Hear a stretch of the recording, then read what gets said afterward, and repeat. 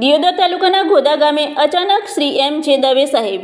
DDO જિલ્લા વિકાસ અધિકારી સાહેબના ધામા ગોદા ગ્રુપ ગ્રામ પંચાયતમાં સાહેબશ્રીએ રેકર્ડ તપાસવામાં આવ્યા.